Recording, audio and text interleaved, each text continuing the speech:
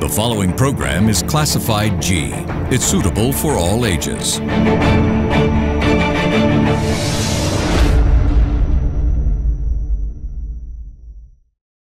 We would like to remind our viewers that the views expressed in this program by our participating guests are solely viewpoints of them who take part and does not reflect the views and beliefs of the Derana Media Network.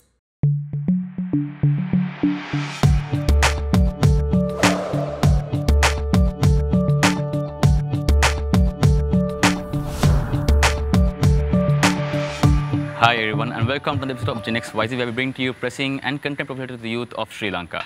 So with the current COVID pandemic, we have seen the global impact with to adolescents and children have been severely impacting their current lifestyles. According to many reports, they mentioned that almost 900 million youth has been affected globally with the nationwide lockdowns. We have seen them changing their lifestyle in terms of education, employment, and also overall social engagement. So to help bring light to discussion and joining us as a guest in today's show is Dr. Miyuru Chandradasa, who is a child and adolescent psychiatrist. Thank you for joining us today, doctor. Thank you for inviting me. So if I can pose my first question to you, doctor, on how exactly has, what are the common effects we have seen with regard to youth and children, adolescents, and how they had affected their lifestyles with the rise of the COVID-19 pandemic? What are the common symptoms that we may have seen? So humans are social creatures. They like to interact with each other. If they can't interact with each other physically, at least they would like to interact through social media. Due to the COVID-19 pandemic, many teenagers and many youth have been confined to their homes. Universities has been closed for a long time and also schools have been closed for a long time as well. So when teenagers can't meet their friends, smile with each other, share some jokes, the social communication and the social skills get impaired and also there can be a lot of emotional frustration of seeing their parents every day from morning to night and having to be in, inside the home without going outside. So sometimes we may see this as not so significant because it's not like you actually getting the COVID, you are just at home, but this mental health impact is enormous. So studies done all over the world have shown that about 15 to 20 percent increase of mental health problems have been seen among teenagers and youth. So what are the mental health problems that we see mostly is mainly anxiety, depressive symptoms, screen addiction, video gaming addiction and other related issues. And in Sri Lanka, we have done some research in University of Colombo, University of Sri Jayewardenepura as well as University of Kelaniya we have seen generally there's a 20% increase of presentation of young people with mental health problems compared to previous years. So the mental health impact, I will say, it's enormous. So we've seen an increase in mental health problems with the rise of the COVID-19 pandemic then, unfortunately. Yes. Doctor, you mentioned that due to a lack of social engagement, we have more anxiety and depression and such. But also I think with the current pandemic, we see um, engaging socially with your friends, peers and such is a bit restrictive right now. Unfortunately, how there are also many repercussions that can be faced by, by future generations if they do not strictly abide by the current COVID-19 safety rules. What are the usual, what do you think that can be seen in the future if the youth and adolescents do not stick to the current um, COVID, safety, COVID safety rules? So, uh, in Sri Lanka, if we go to buy something to a shop, let's say there are two people uh, in front of us waiting to buy something, usually people, even before COVID, usually do not respect the physical space of another person. Yeah. Usually they come and stand very close to you, especially in buses. So this sense of physical awareness was not there. Now suddenly when the COVID-19 came, you were supposed to keep one meter first. Now it says to be two meters.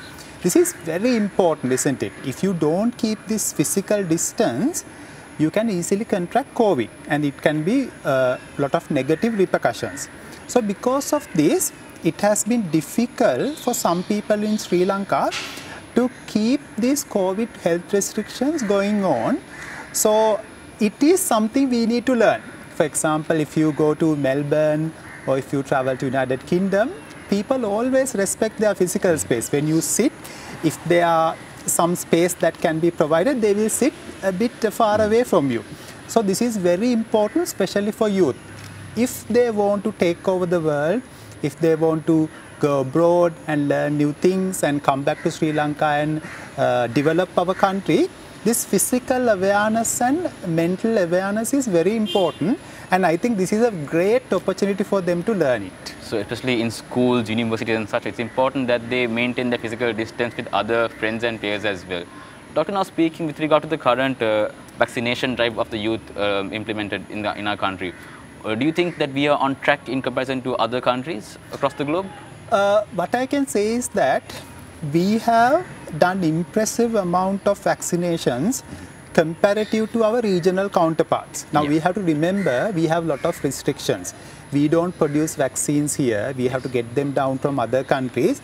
Even though we have the financial capacity, you have to understand that those countries produce vaccines first for themselves. If the stocks are more than their requirements only, they will allow us to buy their vaccine. So because of that, what we have achieved up to now, I think I am very happy. For example, a few years back I worked in Australia and I'm so happy that most of the doctors who are still working there got the vaccine far later than me because Nice. I, I even though I'm in uh, uh, Sri Lanka, I received the vaccine far earlier than them working in Australia. So because of that and giving the appropriate vaccination for the youth is very important because they move around. Yes, we uh, vaccinated the elderly and people with medical disorders first. It's understandable the mortality is high. The mortality in the youth is less, but they move around. They have to work, they have to talk to people, they have to interact. So vaccinating youth and teenagers is very important. Uh, the issue with that is guidelines for vaccinations keep on changing because this is a new pandemic. Scientists are learning new things every day. So sometimes they say, uh, first month they say you have to vaccine up to 15 years, then they change it so the people get confused, and the medical professionals are also they need to work on new research. So it's a changing dynamic, but at the moment I'm so happy with what we have achieved.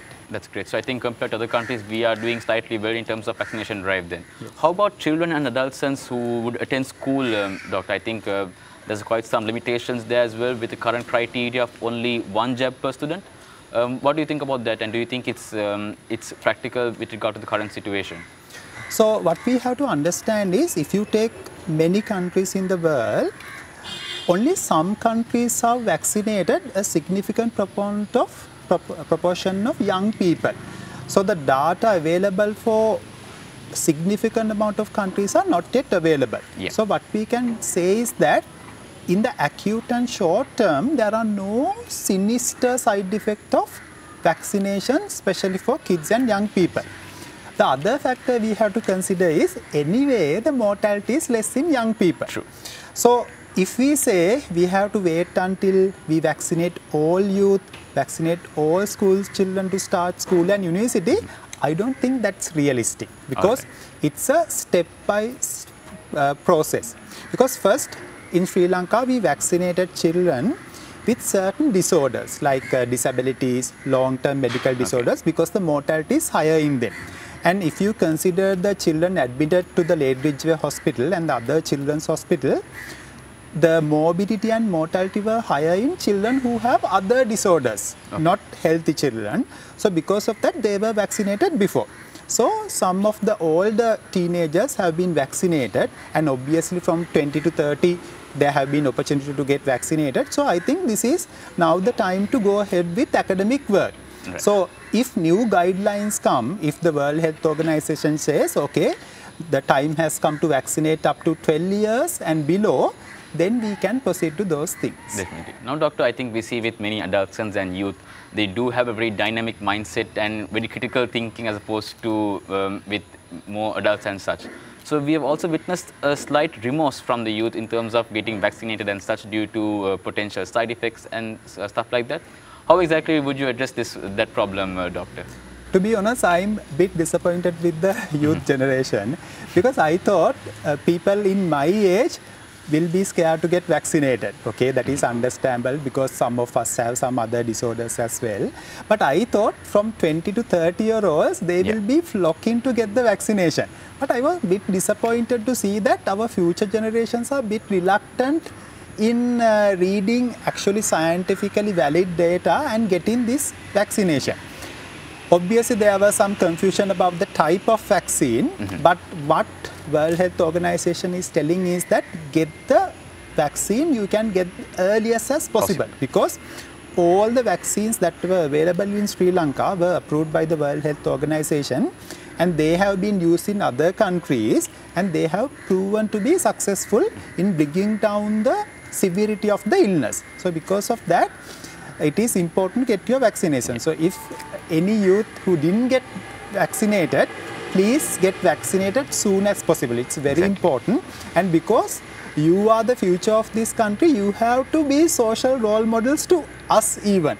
So that is very important. You have to teach us that scientific information is more important than anything else. Exactly. Now, with a, with a psychiatric's point of view, um, Doctor, what do you think led to this thinking amongst the adolescents and youth uh, in in their lack of confidence with the current in being vaccinated?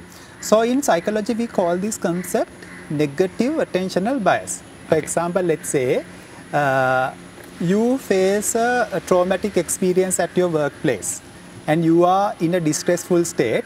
When you are driving back home, you will notice more negative things. You are unlikely to notice things like a beautiful flower or something very nice on the road because your mindset is negative. So during the pandemic, due to economic problems, uh, lack of opportunities for work, learning, our general society negative uh, mindset is there. So when your general mindset is negative, you tend to focus more on negative things as well. So if you look at social media, you can see people who are not that critical and hostile Yeah. has suddenly become very critical and hostile. So when few people share these negative information, sometimes these are misinformation, false information, they get spread very rapidly. Exactly. Also because people were at home most of the time, not going outside, they had more time on social media and sharing some of this misinformation. Uh, what I see is very unfortunate condition. So, Exactly. uh, so sometimes uh, when people hit the share button, they don't think what the impact is. But True. I think the share button is the most dangerous button to click.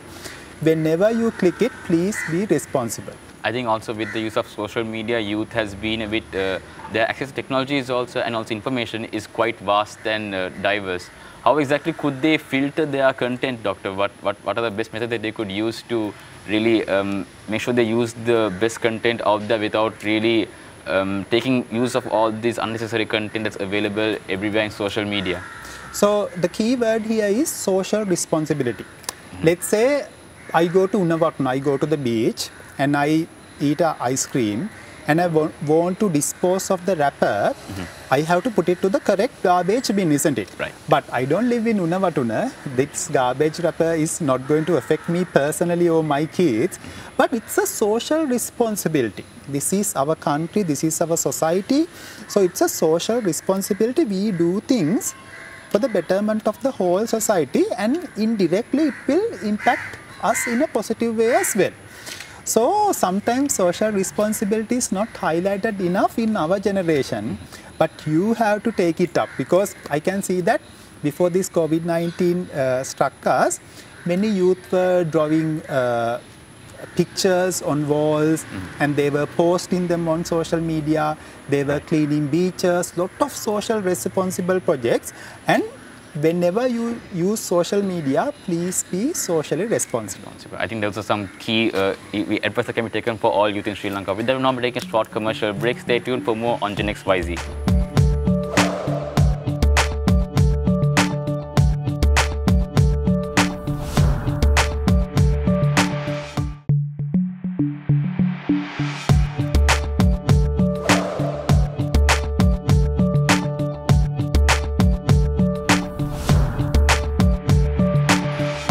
Welcome back. Today we're speaking to you on the impact of COVID-19 and its impact we see on adolescents and youth in Sri Lanka. So, doctor, I think um, with the current um, criteria of only one dose per one dose of the vaccine to children and, and adolescents, what do you think of the practicality in that? Do you, do you see it being useful, or is it effective in being having in having only one dose of vaccination? So what I can say is that the immune response in different age categories is completely different.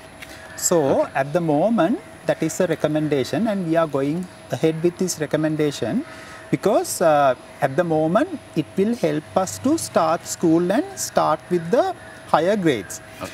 But if more data is available from other countries, then we can proceed. For example, any tablet or a medication given to a young person, uh, there has to be usually uh, data coming from many countries before you give to local children. But most of the time, because uh, our own research is sometimes not there, we will uh, rely on information coming from Western countries and Asian countries before we recommend some medication. But this is a pandemic and you can't wait until most research is available. Exactly. So you balance it out between the risk and benefits. So at the moment, the benefit is giving this vaccination to young people. But in the coming months, when there's more data is available, it may change. So at the moment, soon as your age category is available to get the vaccine, get it and move on with your learning activities. Now, with I think with global lockdowns across, across nations as well, we have seen it has impacted many uh, children in attending schools and such. What do you think of reopening schools, doctor? And do you think it's safe to reopen schools with the students who aren't vaccinated? Yes, so obviously uh, the primary education children and middle school children are not vaccinated yet. So in that category, school is so important. So sometimes people ask, uh, doctor, can you tell me please what is the most important period in school? Is it the maths, it's science, social studies? Actually, the most important time is the playtime. Because playtime, you interact with your peers, you generate capacity to work as a team, you empathize with others, you read their emotions in their faces, and you develop emotional understanding, empathy. I think empathy is something very important for our children. So when there's no school, you see your mother and father's face all day, Yeah. and sometimes there will be a lot of instructions to study, mm-hmm. write letters. This can be very boring for kids because it's not similar to physical education. So it is very important that we open schools and parents obviously may fear sending their kids to school because of the COVID-19 pandemic. But you have to understand that even though children may contract COVID if they don't follow the health restrictions, still the mortality and the impact on them is far less than elderly population and adults. So if you can carefully uh, analyze the data from Sri Lanka even, the mortality has been more in children who have other disorders. In that sense, you have to get vaccinated and uh, use uh, significantly more precautions. But for generally for children, going to school and uh, enabling their psychological development and personality development is far more important. True. Now, I think with being with being in lockdown and staying at homes might have also severely affected children, adolescents, and youth in terms of their psychology and um, their thinking and such. How do you think getting back to school would uh, would it be? a, it would be, a, I think, a drastic change with regard to their environments and such. How could they best get back to it, doctor, and help them stay on track as well? So there are two things. Now, if you have been at home for two years and if you are going back to university or school, it's going Yeah. to be a challenge. But you have to remember that unlike adults, young people's minds are more neuroplastic. That is, the neural networks in the brain of young people can change rapidly compared to adult. So they adjust faster compared to adult. So even uh, when I go to pick my son, I can see all the parents very close to each other waiting near the gate. Yeah. But the kids keep the two meter distance and they have learned it within one day. So because of this, kids have the capability of adjusting to new environments. That is the neuroplasticity of their brain. So if you give them good guidelines, for example, when they enter the school, there should be a big banner or a poster saying, please follow these instructions. Mm-hmm. The prefects, student leaders need to monitor it whether the little kids are following it. And before you drop your kid near the school, please remind them, please use the sanitizer, please wear the mask, please use the face guard. If you keep reminding them, they will follow. And after a few days, it will be in their mind all the time. Uh, then, but there can be risk. So, if uh, a child gets COVID, obviously you can uh, stop that classroom only for some time and but the rest of the school can go on but going back to school and learning is very important because as i said before uh, the personality development is the key because personality of each child has to contribute to the betterment of this country in the future Exactly. otherwise there will be a frustrated generation that will not help the country Definitely. And in getting back to school, doctor, I think uh, most uh, kids and students would look to engage with their peers as much as possible. Um, in terms of your point of view, what do you think are the best methods they could resort to in mitigating the risks of being confronted with COVID-19? obviously uh, many young kids come and tell me uh, dr uncle i'm so disappointed. I can't go to school and play. Yeah, so but still they can talk to each other keeping a two meter distance uh, say some funny things do some activities together. They may not be able to sit very close to each other but drawing pictures you draw a picture and show to your friend he smiles he interacts and uh, the, your friend sings a song or when you are learning especially what we call reflective learning. For example if the teacher asks a question let's say she asks uh, what should we do to help uh, reduce the covid-19 spread? Uh, one kid will give an answer completely different to another kid. So when you give two answers you listen to other people's answer and you learn from it. Why did that person think like that? So this is reflective learning. You you say your answer and you learn a lot from other people's answer. So this is the key to teamwork sometimes bit lacking in our system. So it is very important. Uh, also but uh, all the kids and obviously youth can interact through social media and obviously online. Uh, some days they can come to school. When they are not at school they can have in a responsible manner uh, chatting about important uh, topics and also they can have discussions online. Because uh, discussing and uh, developing abstract thinking abstract thinking means how you look at a thing beyond what we can see is very important for the developing new things for our country and being creative. Exactly. Also, doctor, you mentioned, I think the most uh, important um, period or time in school is the playtime. Also, we would see them engaging in sports after school and such like that. How do you think they could best resort to safety methods in terms of when they engage in sports and activities and such like that? So uh, I'm so sad about many kids who have played a certain sport from the under 11, 13, 15, 17 level and not been able to play the higher stage. Sometimes they were waiting to play the big match for maybe seven, eight years. They were not available. Also, uh, like uh, debaters, like they were doing, doing debating for so many years. Uh, quiz team members also they have lost so many opportunities. Uh, looking back from our school days, those were the memories that we cherish, isn't it? So the victories. So it's, it's so unfortunate, but at the moment, some of the sporting activities at school have been allowed. So hmm. some of the cricket matches have been allowed.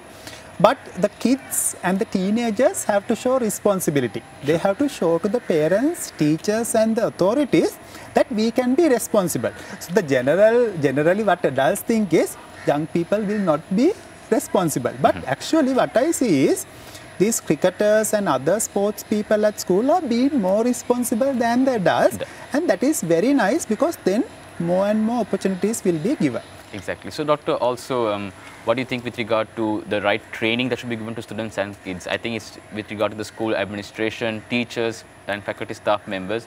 What would you say is the right training that should, they should provide these students in terms of making sure that they have uh, zero risk, zero or less risk as much as possible in terms of contracting COVID-19 within their school? So, uh, if you take the teenagers, they are more emotionally driven. So, if you take the adults, they are more rationally driven. They because the thinking brain is more powerful in adults compared to the emotional brain. But if you take the teenagers, they take decisions on emotions.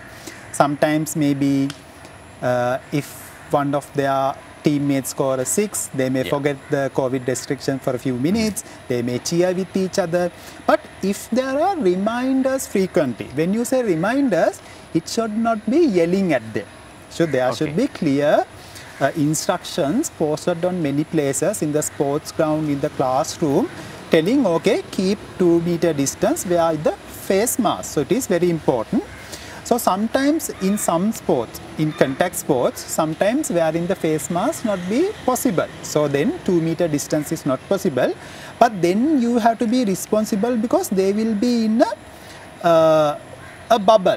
Because uh, if one of them uh, be irresponsible, then everyone else in the team can get it. So it's very uh, important that if your son or daughter is playing in a sports team where you can't keep the COVID-19 uh, precautions to a certain level, you can't take them on a, a family trip in the weekend because then you are putting many families at risk. So that is yeah. very important and parents have to remember that and also teenagers have to mindful even when they go home they have to keep following the precautions to safeguard themselves as well as their team members. Exactly. Doctor, I think you must be well aware as well.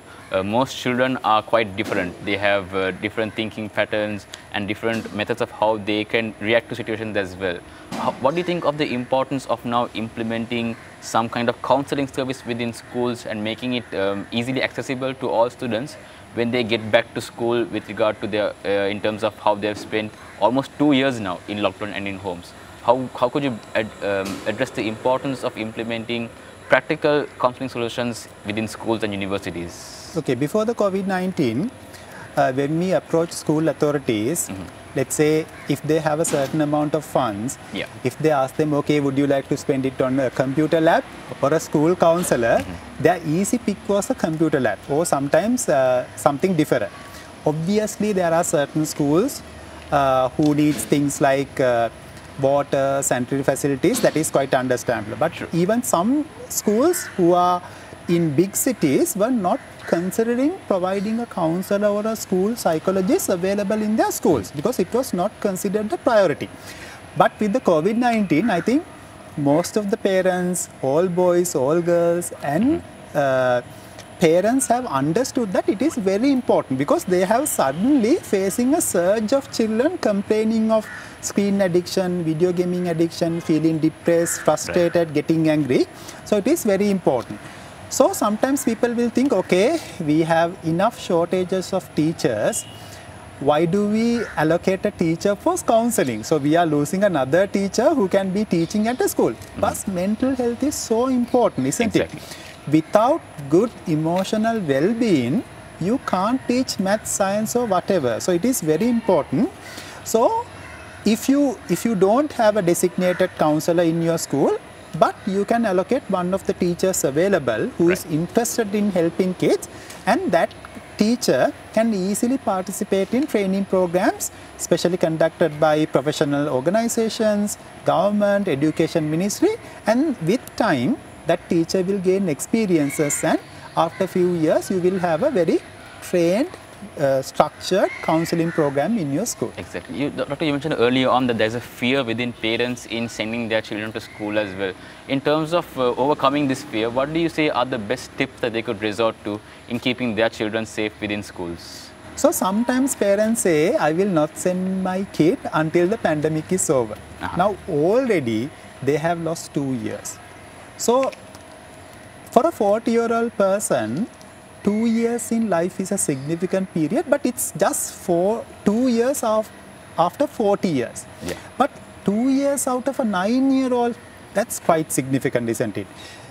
Also because they keep on changing every year, every month. Suddenly last month they were saying they want to be uh, an engineer, now they are saying they want to be a policeman. So they keep on changing. So because of these dynamics, if you wait until the risk is zero, you are depriving of your child of lot of opportunities for their personality development.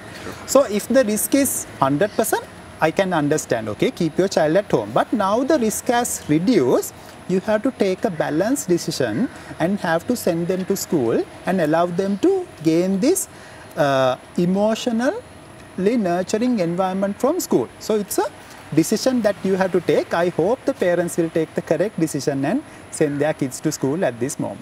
Definitely. And with that now, we hope that you all identified that it's maybe okay and all right to get back to school and send your kids and be more engaged with your peers as well. With that, now moving on to a short commercial break. Stay tuned for more on this topic.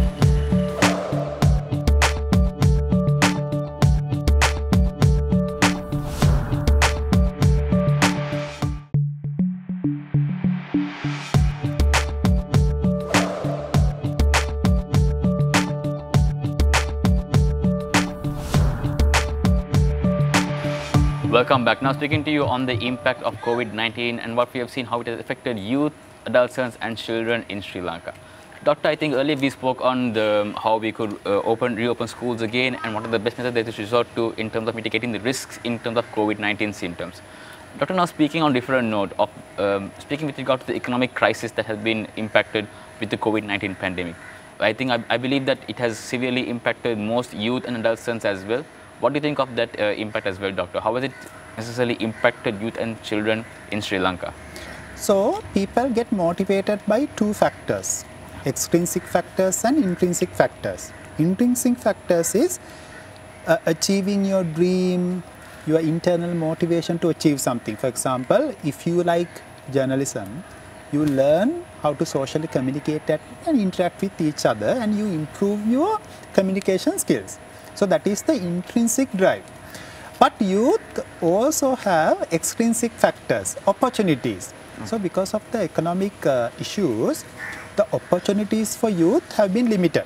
Yeah. And sometimes youth may feel extremely frustrated and they may feel like giving up, migrating, and changing their dream and wanting to achieve something that they don't like much. So I think this is a very negative uh, impact on the youth and what I would like to say to young people is be patient. So in this moment, I know career opportunities may be limited. A lot of private organizations may be saying we don't have funds to recruit new people. Yeah. And also, even when they recruit, the salary scales may not be that high. So, but uh, a career or a, your dream, achieving your dream is a long process and working in this kind of stressful period may be a good learning experience. So many young people say, how can that be a learning experience? But when you work under stress, it gives you certain coping skills. Right. Coping skills means you have a limited budget, you have limited time, but you have to achieve certain targets. So when you work like this, your time management skills, your management of team problems, deficiencies, uh, getting the team on the same page, there can be challenges. So these can be good coping skills to face future challenges. So it is very important. So take your time, don't give up your dreams and stay in Sri Lanka and contribute to the country. Exactly. Also with the rise of the pandemic, doctor, there has been new methods in terms of um, education and employment. We have seen uh, youth and children resorting to new trends in terms of education and employment. What do you think are the pros and cons of these new uh, trends, doctor? And do you think it would prolong even post-pandemic as such? Definitely, because online education is very important. It's not only for the pandemic, it's a very important thing it allows us to gain skills that is not immediately available for us. For right. example, there may be some degrees not offered by any of the universities in Sri Lanka, but it is offered from a overseas university. So if your dream is to go in that pathway, you may be the first person to qualify in that field in Sri sure. Lanka. So that is that is very important, isn't it? New skills getting get into country. So in that sense, online education is very important and I'm so happy that the younger generation is able to learn most of these online education skills in a better way. But you have to be mindful that when you are in uh, primary school and middle schools, maybe studying hard or academic priorities were from your parents. But when you are getting to middle and late adolescence, please be self-responsible and achieve some self-control. Yes, obviously when you are listening to an online session or online lecture, obviously there may be hundreds of YouTube videos or chatting platforms that you would like to engage. But when you engage in these uh, uh, non-educational activities for a long time, you are losing valuable time. So exactly. because of that, you have to develop some self-control. Self-control means nobody is yelling at you, nobody is putting rules on you, you control your own behavior. And if you uh, travel to many developing countries, this self-control is evident when you travel on a road, when you are right. driving, when you go to a shop and when you are waiting in a queue. This self-control is the key, I think. And younger generations, please be self-control and put controls by yourself for your screen time and online time. Exactly. And in terms of employment, doctor, I think uh, there has been some new jobs out there as well that has resulted with the COVID-19 pandemic. What do you think of these new trends in terms of in terms of employment? How do you think the youth can adapt to that in terms of how it has uh, severely and globally also impacted the current youth in Sri Lanka? For example, because many people are using online platforms, certain new jobs will be available online Exactly. or maybe like uh, uh, over the telephone. But uh, some people will say, okay, your job will not be available when the pandemic ends. But it will not be like that. Even when the pandemic ends, these online platforms and uh, like telecommunication services will be there because people will change. And uh, it's very important, like for example, if a person in Ampara, uh, uh, two parents want to show their kid to me, I work in Ragama, to come 8 hours from there just to talk to me for 10 minutes or 15 minutes, it's a lot of waste of time, especially if the father and mother are daily wage earners. But if you can have a telecommunication or what we call a tele-mental health consultation hmm. service, so that will be very helpful for me. It saves time for me because I can even from home can engage in the consultation service and it will be beneficial for parents as well. Then when you maintain such a consultation service, there are new job opportunities. There should be people, administrators to monitor these for payments and those things. And we should be very mindful that even when the pandemic ends, we should keep these job opportunities going on because it's very important for the development of the country. Exactly. Now, Doctor, I think also with the pandemic, we have seen uh, most tech organizations accelerating most virtual environment solutions to, to uh, the current problems in the pandemic. You, also, I think with, the, new- with Facebook releasing Meta as well, we've seen them trying to implement uh, most virtual environments in the future. As a psychiatrist, doctor, do you see any disadvantages or any cons with regard to implementing virtual environments in the future? Uh, there are obviously good things and some disadvantages Right. because if you're a young person there has to be a connection between the virtual world and the real world sometimes young people especially for example people who play internet games Right. they may be awake throughout the night playing the game because most of the people playing the game live overseas and they may be sleeping during the day Yeah. so this disconnection between the real world and the virtual world can be very uh, sometimes uh, negative for the young person because whatever the job, even when if even if you are uh, working online platform, still you have to deal with real people, real customers in the future. Because of that, social skills of communicating with each other are very important. And what we call a psychological concept called the theory of mind. Theory of mind is my ability to understand your thoughts and emotions. So that is very important. I look at you, I look at your face, I smile with you, and I learn and how to read your mind. So if you are my customer, your needs may be completely different to the previous customer.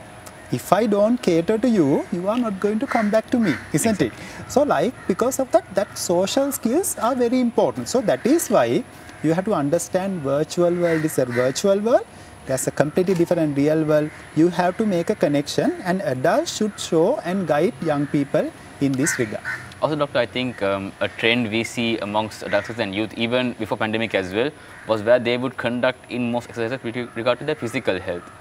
I think now with the with coming on to maybe post-pandemic and uh, coming out of lockdown as well, what would doctor, what would you recommend are the best exercises that, that, that we can resort to in terms of promoting good mental health within youth as well? Okay, so physical health obviously uh, regular exercise, eating healthy food is very important as well. But if you take mental health, the biggest barrier is the stigma. Okay. Now, uh, if you uh, travel to a affluent country, if you talk to a teenager, they frequently say, uh, Doctor, I'm depressed. Or they will say, My friend is depressed. He is taking this treatment. They don't try to hide it. It's not something embarrassing for them. It's something uh, they acknowledge, they accept that, and they accept that they want help.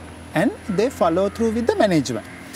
So obviously the older generation in Sri Lanka, uh, mental health is a taboo topic and lot of stigma and discrimination are there. For example, if you want to go and meet a psychiatrist or a psychologist, you don't go to the psychiatrist in your city, you travel 100 kilometers to avoid all your relatives getting to know that you are going to see a psychiatrist. But this is the, not the way forward because mental health is very important for the work efficiency. For sometimes people suffer from depression for years, they may be at the workplace, but their mental performance and work rate is low. So then you are not actually contributing as an employee. So this stigma, we need to overcome it and the best way to overcome is young people, especially celebrities, mm-hmm. coming forward in media and stating that what are the mental health difficulties I had. Because most people, we know, one out of every five young people suffer from depression. One out of four adults suffer from a significant mental health issue. So celebrities uh, people on media should come forward and accept that these are the difficulties i had this is what i did. Now i'm better. I think that will be a good trend. But they can normalize i think uh, resulting to promoting good mental health in the future. Hopefully we can see reduction in these mental health issues with our coming generation as well. Doctor, also moving on to our discussion, what do you think organizations, institutions and companies could better do to help, um, to help children and youth get back on track post-pandemic situation? So, uh, what they can offer is that they have to be mindful the mental health of young people and every organization should make counseling services available if it is not physically possible if, if there's a physical counselor present in the organization, people know not may not like to visit that person, but even an online way or even a text line. For example, sometimes we have seen from mental health research, young people do not like to call and get advice, they would like to text and get advice. So that is why the National Mental Health Hotline has a text line, 1926 has a text line as well. So every organization should have a counseling service or a mental health support service. And I think when there are new recruitments, there should be a senior person as a mental health mentor to guide them in difficult situations. There should be a person in the organization when they have emotional frustration or need some mental health support, there should be time and there should be a person to go and talk to and this is very important and something we should learn from the pandemic. Are there some good examples out there, Doctor, of uh, organizations, companies who have taken some good methods in, um, in addressing mental health issues and how staff, children uh, or youth could get back on track in leading a normal lifestyle? Yes, the best example is Shanti Margam. Shanti Margam is a non-profit organization. It provides uh, counseling for any young person or adult uh, during the daytime. Right. So you can anon anonymously talk to the counselors and get okay. advice. And sometimes Shanti Margam works with certain organizations and help them to build their own capacities in providing mental health supporters, supports for young people. And uh, some media companies and some private organizations, they have been now been vigilant about mental health and started their own services. And uh, obviously we need more professionals in this regard, but I see a good trend and a positive trend in this aspect. That's amazing to hear, Doctor. I think now we've come to the end of our show as well. Moving on to our, my final question, Doctor, is uh, with the lack of opportunities and skills with the current pandemic, what do you, what would the best advice you give to youth and children on how they could better overcome these challenges and do well for the future? So what I have to say for to young people is that you had a difficult time of two years with the pandemic. I understand that, but you have learned more things that we were not able to learn over a decade within few months maybe using online education, maybe communicating with each other on virtual platforms. Use that new important information and please contribute to the country to develop this country and be mindful of your mental health. Never feel embarrassed to talk about your mental health with a friend, adult or a counselor or a psychiatrist because your mental health is very important for your happiness as well as the country. That's great. And on that note, Doctor, we conclude our program here today as well. We hope as youth in our country that you all have learned something with regard to the discussion and hopefully it will help you better mitigate the risk in terms of conducting COVID-19 and better do well in the future as well. In case you missed any of our uh, stories tonight, hope you all rewatch us on our YouTube page on youtube.com slash English. With that, we are now concluding our show. Catch us next week on Gen XYZ. Thank you for joining in tonight.